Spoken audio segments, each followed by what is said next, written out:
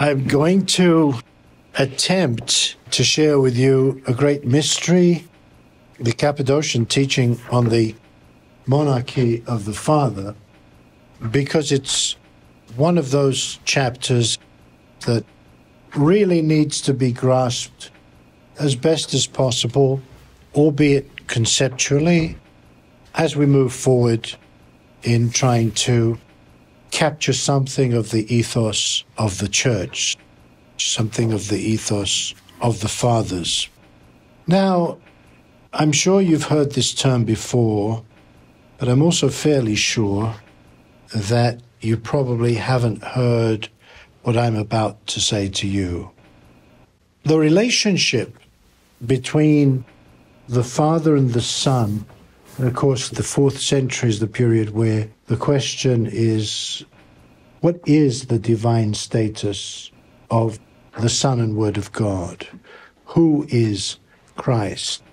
The relationship then between the Father and the Son is a natural and essential one. It's not a relationship by grace, because the Logos is God by nature, and he is not God by grace. The Logos, therefore, participates in the essence of the archetype, who is the Father. Now, the Logos has the glory from the Father by nature and not by grace. The Father gives his glory to the Logos, but he does not give his fatherhood to the Logos. So the Father is the source of the existence of the Logos, but he is not the source of the existence of the glory of the Logos, because the Father gives his own glory to the Logos. Listen carefully. The glory is not only the glory of the Logos, but also of the Father. We mentioned this before. The existence of the Logos is from the Father, but it is not the existence of the Father. The Logos is not the Father. The Father and the Logos are two distinct and unique hypostases. So we have God the Father and God the Logos. But we do not have two gods. We have one Godhead, one divinity. Let me rephrase this. The essence and natural energy, that's everything that flows from these glory, kingdom, grace, power, light, etc., which are simply different names of the natural energy used to express a specific characteristic of man's encounter with God. These are common to all three divine hypostases. And they are made common, they are communicated by God the Father. While the hypostatic characteristics of fatherhood and unbegottenness, sonship and begottenness, spiritness, or as St. Basil puts it, sanctification and procession, are non communicable, and so they are unique to each of the three divine hypostases respectively. But more about this presently. So the Father is the cause of the existence of the hypostasis of the Logos and of the Holy Spirit. He gives them their existence, but he does not give existence to the essence and the natural energy of the Logos and the Holy Spirit. That's because he gives them his own essence and natural energy. So the Father is the cause of the existence of the Logos and the Holy Spirit and gives his essence and natural energy to the two persons. He's not the cause of the essence and natural energy because the essence and energy are His. So He makes common the essence with its natural energy, but He is the cause of existence of the hypostasis of the Logos and the hypostasis of the Holy Spirit. So to sum up, the Father is the cause of the hypostases of the Son and the Holy Spirit, but not of the essence or natural energy which they have in common. The Father communicates or makes common his essence and natural energy to the other two hypostases, but he is not the cause of them because they are his and they have no cause.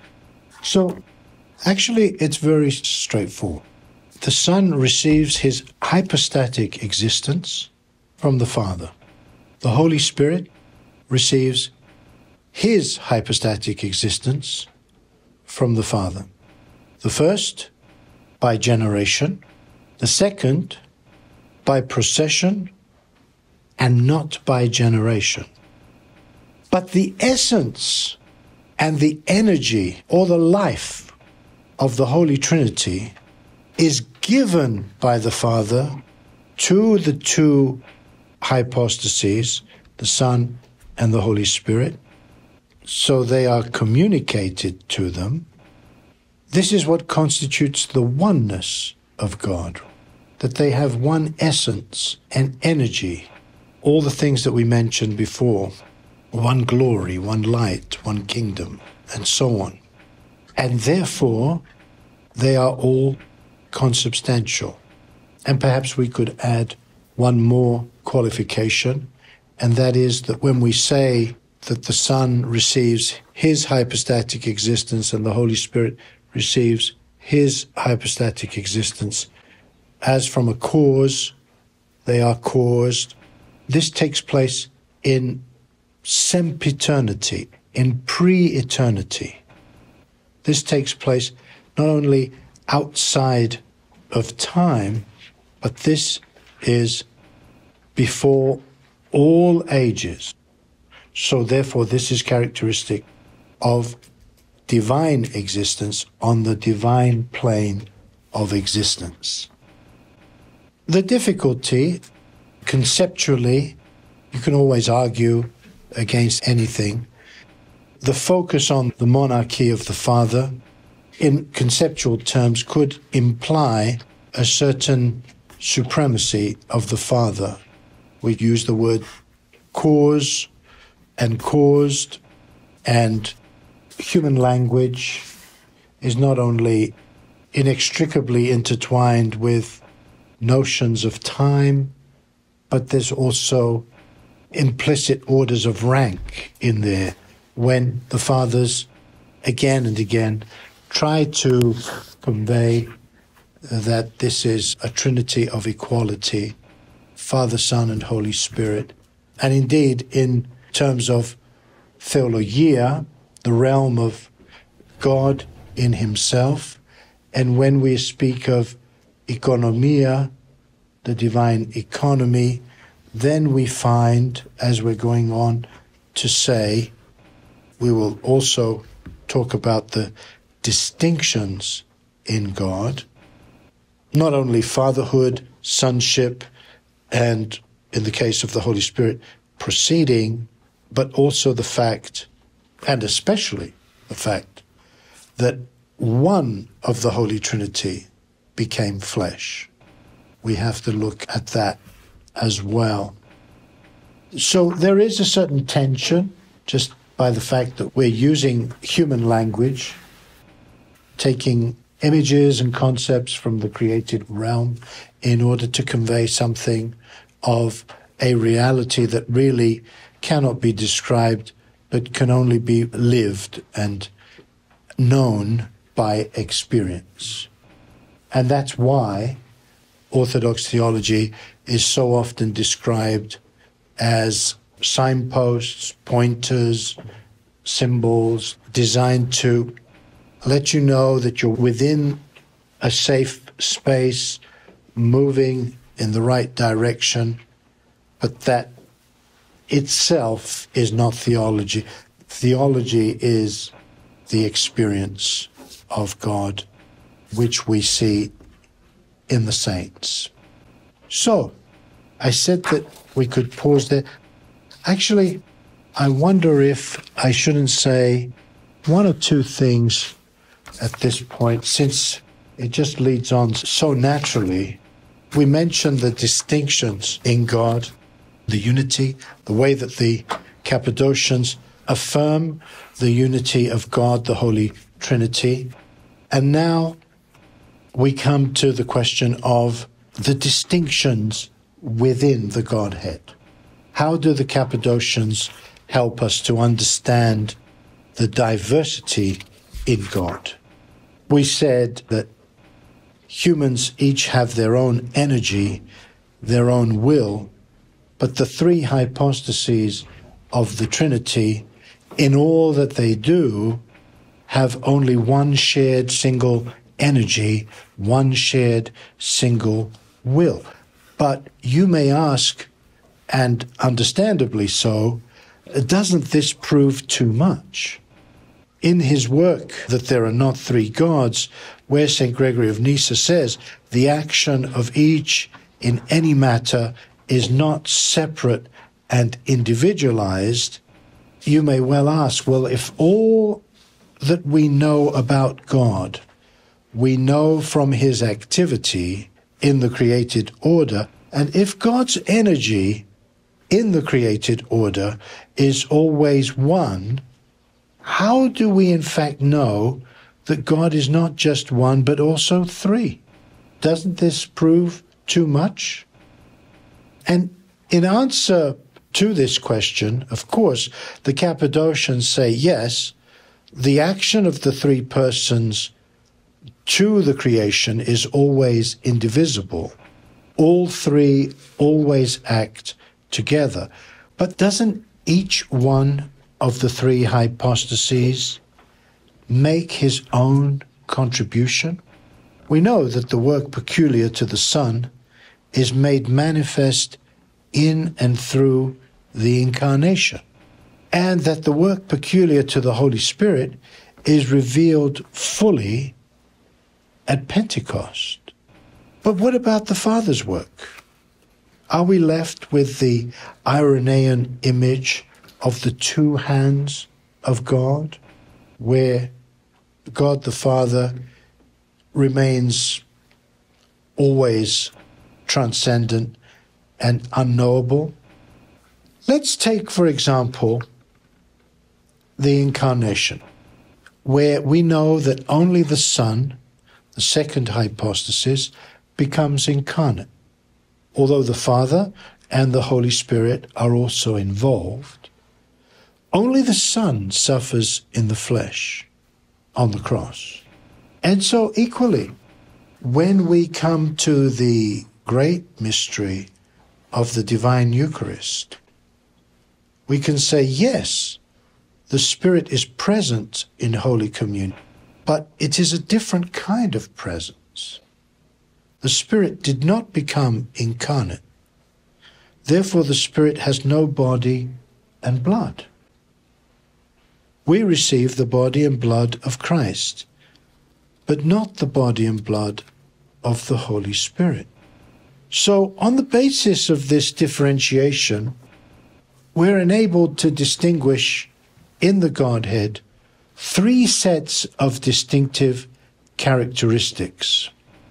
Now, let's say at this point that the differentiation in the Holy Trinity, as we said before, is on the level of hypostasis and hypostatic characteristics the energy which comes from each one of the three persons comes from all three persons together.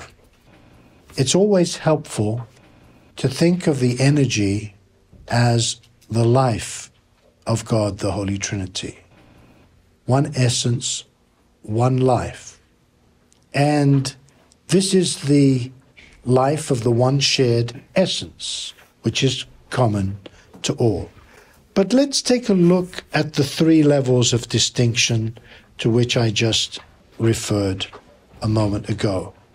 As the Cappadocians called them, the tropoi hyparxeos, the modes of existence. And here we have a very important distinction. You have da kina, those things which are held in common, and da those things which are incommunicable. Incommunicable, they're not shared. So, firstly, then, the distinctive characteristic of the Father, the tropos hyparxeos of the Father, is that he is unbegotten, agenitos. For the second hypostasis, the hypostatic characteristic corresponds to the first, but in reverse. It's begottenness. The Son is begotten. And with the third, the distinctive characteristic is proceeding, where if you try to build an analogy on fatherhood and sonship, proceeding doesn't really help. We'll come back to that. But we may notice several things about this pattern that the distinctions between the persons are grounded on their origin, and we do not describe the essence of each hypostasis, but we have a name for the hypostatic characteristic, the tropos hyparxeos, the mode of existence. St. Gregory the theologian develops this point in Oration 29:16 his first theological oration on the Son, he says, The name Father is not the name of an usia. it's not the name of an essence. It's not the name equally of an energy, an energia, but it is the name for a schesis, a relationship. And I had said earlier that there's a question about the language of relationship. But St. Gregory the theologian does use this term. And he says, Father, Son, this suggests schesis. This suggests a relationship. If we say Father, we mean Father of a Son. Now, some, including Metropolitan Kallistos, infer from this that the modes of existence that we distinguish in the Trinity, according to the Cappadocians, describe their interrelationship, their schesis.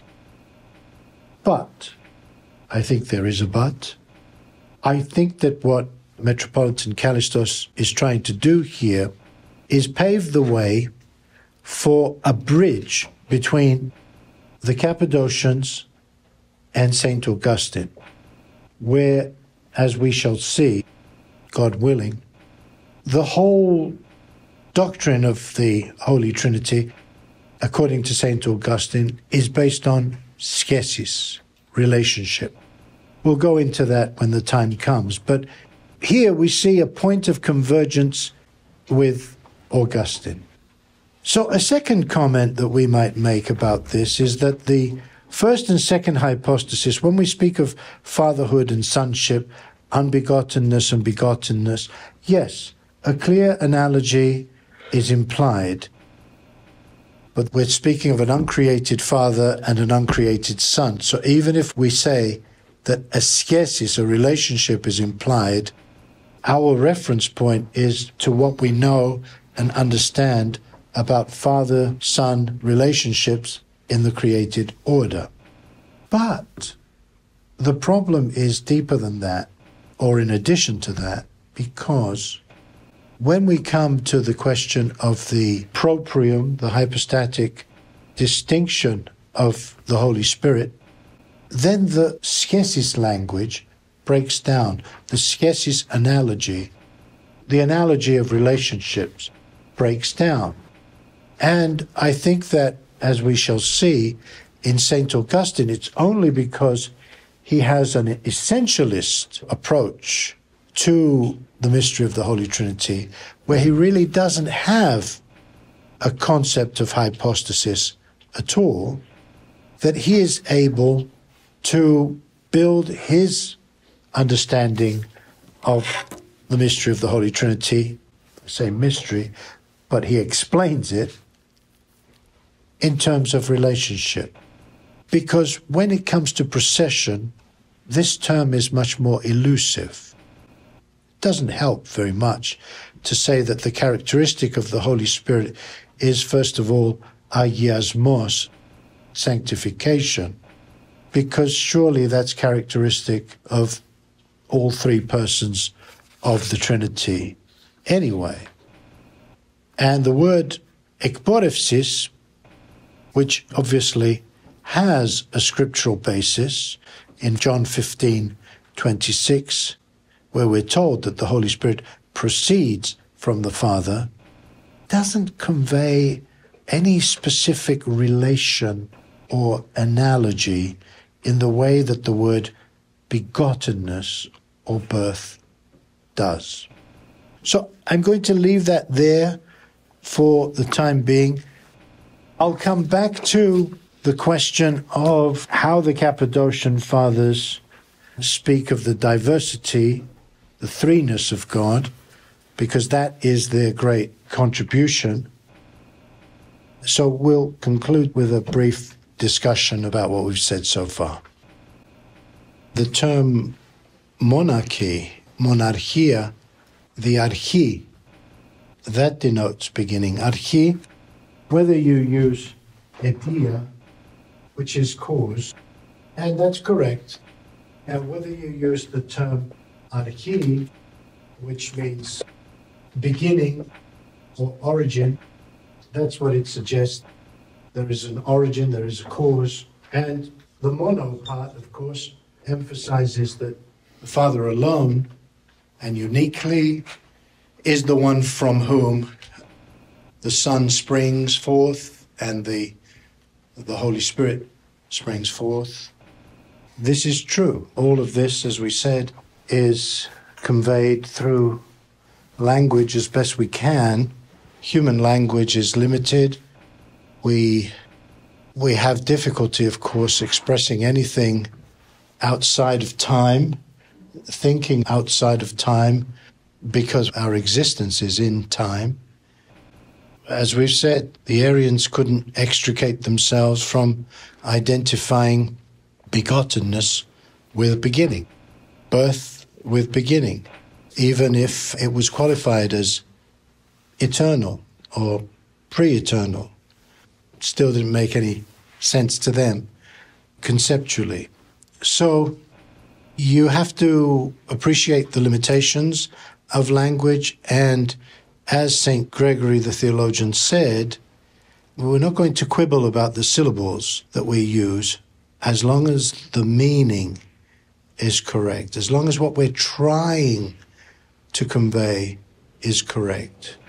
Because ultimately, the reality of God transcends anything we could possibly conceive of. So, yes, I think in modern writers, more has been said about kenosis and that self emptying communion of love among the three divine hypostases. I wonder, because I haven't checked this myself, I wonder how such writers as Dimitri Staniloae have said about that because he went in his presentation of the mystery of the Holy Trinity. I think he went further than most, but I don't know. Perhaps it's implied. Doesn't sound wrong.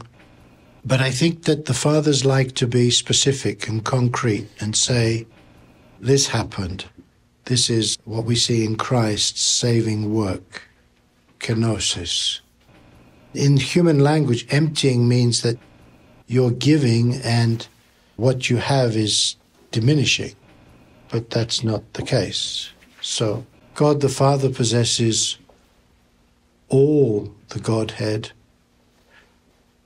perfectly, fully, as does the Son, as does the Holy Spirit. The purpose of God's creation of man is to raise us up to the right hand of God the Father, which means to make us equal with Him by grace, what the Son and Word of God is by nature, we have been called to become by grace, joint heirs with Christ. But this is to be continued. We'll continue next time, God willing. And when we have looked at the question of the diversity in God again, then we will compare what St. Augustine has to offer on this question and compare it with the Cappadocian Fathers because it's important to understand the differences. And then we can talk about that. That will be a, a good point to really pause and think about the shape of Orthodox theology and how it contrasts with the post Augustinian approach. Please subscribe to our channel and share with your friends. Click on the join button below our video and become a friend or reader of the Mount Thabor Academy. Support our drive to introduce the theology and spiritual life of the Orthodox Church to the wider community.